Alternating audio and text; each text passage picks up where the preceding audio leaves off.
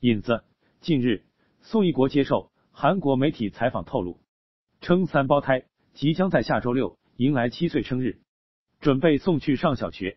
作为超级红的童星，宋一国不担心宝贝们在学校跟同学们相处会有明星压力，反而担心三胞胎会在学校抱团打架。作为表情包小王子，宋明国会不会被同学们开玩笑，然后一生气就打起架？爸爸宋一国称。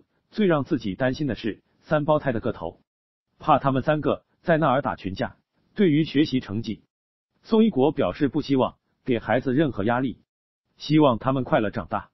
因为参加超人回来了，可爱的三胞胎一炮而红，就连爸爸宋一国都迎来事业高峰。三胞胎在节目里十分可爱，大家见证了三人一整年的成长。特别是宋明国，因为自带搞笑体质。成为国民表情包，不像《爸爸去哪儿》，有的小宝贝红了就疯狂上综艺，宋家三胞胎红了就慢慢隐退，没有继续上综艺。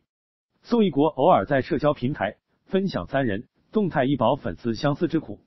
不过作为小明星，私底下宋一国对儿子的才艺培养也很上心。